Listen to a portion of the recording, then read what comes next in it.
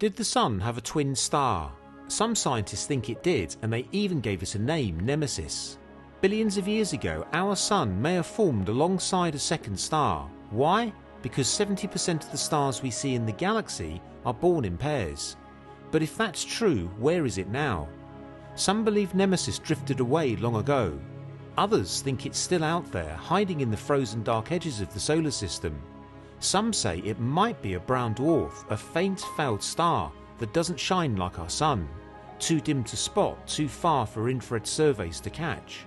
And yet, it could still be quietly stirring up chaos, triggering comet showers from the Oort cloud, maybe even nudging Earth towards mass extinctions. It sounds like science fiction, but it's a real scientific hypothesis. And if Nemesis is out there, new sky surveys may soon find it, because sometimes the universe hides its biggest secrets in the dark.